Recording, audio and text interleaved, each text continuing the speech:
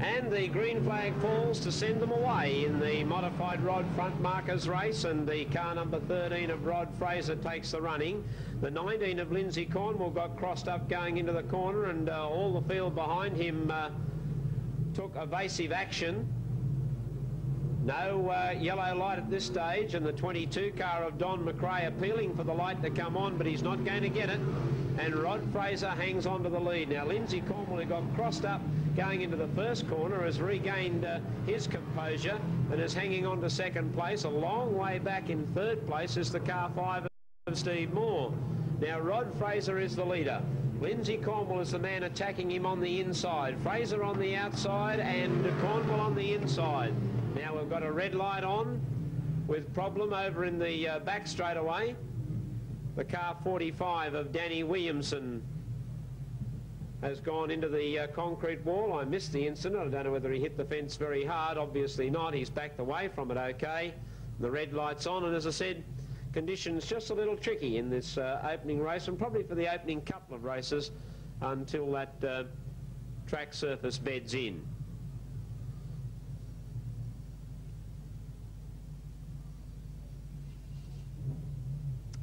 Seven laps will remain when the field is regrouped.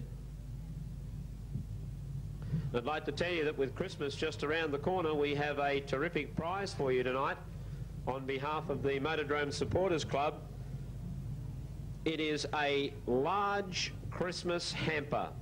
It contains a Christmas pudding and a Christmas cake, some ham, a Christmas video and some Christmas books, some stuffed toys, some wine, some Motordrome uh, clothing, some toys, t-shirts, caps.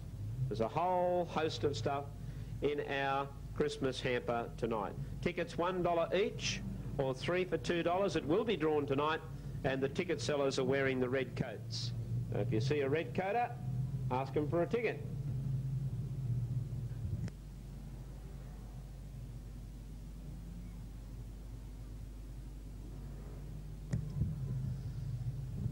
Settling in now for the restart to event one, the modified rod front markers.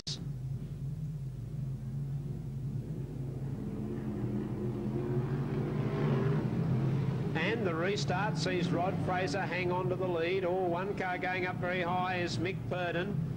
There's uh, Lindsay Cornwall going up on the inside of Rod Fraser, down back straight away, and Cornwall takes the lead. Now, Purdon got into trouble, got a bump, went out onto the infield. For some unknown reason, Steve Moore went right out onto the infield all on his own. Now, Lindsay Cornwall and Rod Fraser dicing for the lead. Cornwall's up high, Fraser's down low.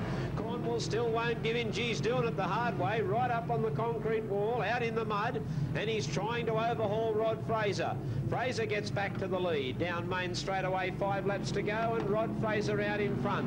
Not running well, I think um, might be one plug gone, I'd say, on that uh, car of Rod Fraser's, but nonetheless, he's got enough power to stay out in front of Lindsay Cornwall. Brian White has moved up into third place. Then there's a big break back to the 44 car of Russell Bradley.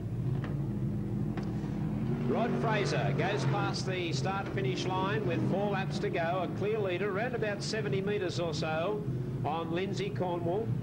Then a similar break back to Brian White. Now Ross Harkess getting up on the inside of Russell Bradley goes up into fourth place. Bradley is back to fifth. Race leader running on a sick engine at the moment is Rod Fraser. Lindsay Cornwall up high on the track. Brian White in third place and Ross Harkess running fourth. Only two laps to go now for our race leader, Rod Fraser. Coming up to some of the slower traffic, but he should be able to negotiate that without too much trouble. Round the outside of the slower car, number 15, Dean Dalfallon, he goes. Lindsay Cornwall's not uh, close enough to him to threaten any danger. And a big break back then to Brian White.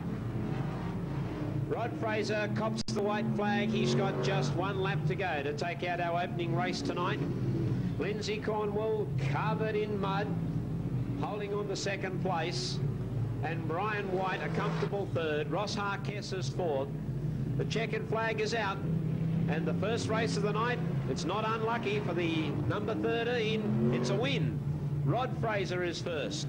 The 19 of Lindsay Cornwall is second. Second place goes to the 25 car of Brian White. Fourth place to 63 Ross Harkess. And fifth place will go to the 44 of Russell Bradley. No time is scored because of the race stoppage.